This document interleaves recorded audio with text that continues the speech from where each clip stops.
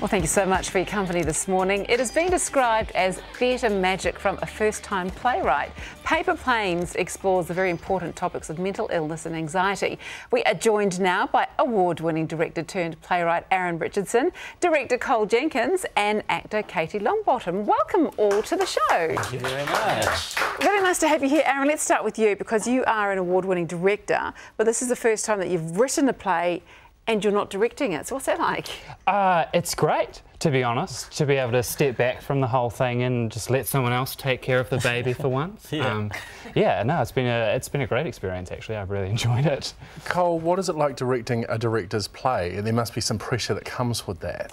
Uh, I guess a little bit, but I mean, Aaron has been really good at just handing the reins over and trusting me, so it's it's it's been a, a pretty good transition into, into that, and he's always open to give me advice, and I'm open to to take it as well. Really? Because I've always wondered about that. Because you obviously, when you are directing something, you must work in very specific ways to yourself. Mm. And, and if you've got somebody else there who's also got their sort of way of doing it, I wondered if there's any clashes.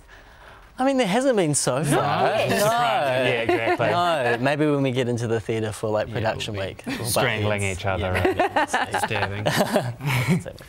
now, why did you decide to write the play around four female characters? Um, to be honest, yeah. I mean, at the time, my girlfriend was going through some stuff, so I think it sort of it was based partly on her experience and partly on my experience. So that I guess the idea of them all being female just kind of stuck in my mind. Um, it was also a suggestion of Cole's that um, because the play, like the central character is a female, it might be great to have some uh, the whole cast be a female, and I was completely on board. Yeah. And you went, yep, that's a great idea. Now, Katie, tell us a little bit about the character you play. Oh, she's pretty crazy. Um, I describe her as myself, but to the power of myself. So, like, I'm quite, you know, out there and outgoing, and I love talking to people and kind of shocking people. And she's like that times a thousand. She's just really crazy and bright and bubbly and fun. So, is that like Katie squared? To yeah. You, you to the yeah, power of exactly. yourself? Perfect. okay, so uh, I get this is an open question to any of you. What is it actually about?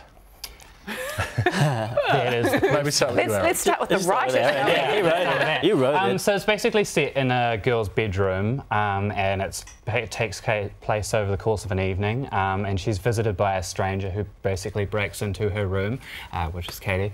Um, and then uh, from there, things start to get uh, surreal and strange. And um, yeah, they go to Antarctica. Um, there, there's a red carpet. Uh, it's all it's all go. surreal and strange. Definitely sounds like that. Um, but you've got some serious topics in the play too that you managed to, to address them. How do you manage to address them? Yeah, um, well, I guess the, the, the, yeah the play sort of discusses in a sort of I guess abstract way the idea of depression and um, the the factors that contribute to that in um, females in New Zealand. Um, yeah, and I think we kind of balance that with humour to hopefully um, not make it uh, the play depressing, but uh, to explore depression, I think is the thing. Mm. Yeah. What's the role of puppetry in this? Uh, there's some mention of puppets or puppetry. Yeah, well, um, Aaron had written some several puppets into the show, and because of my experience with puppetry, I've done a bunch of shows over the last few years um, involving different forms of puppetry. That's why he got me on board.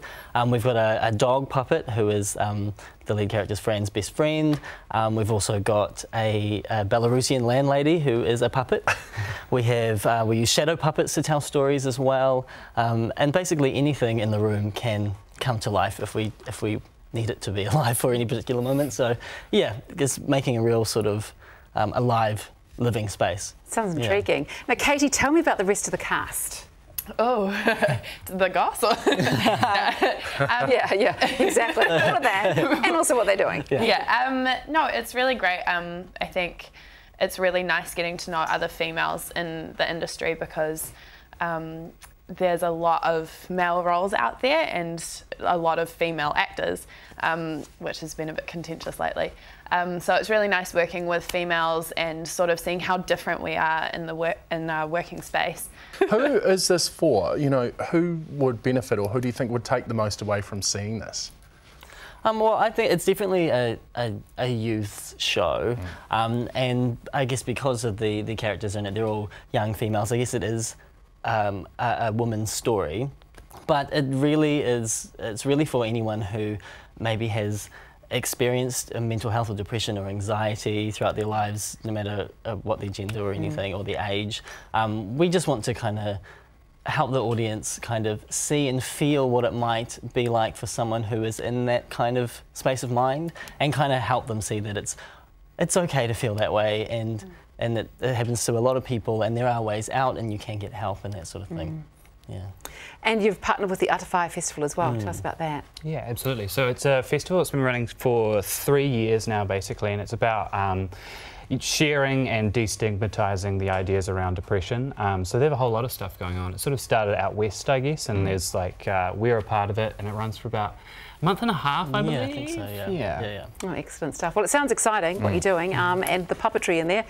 Never hurts to have a good puppet in No. the play, I was say. no, It's really good.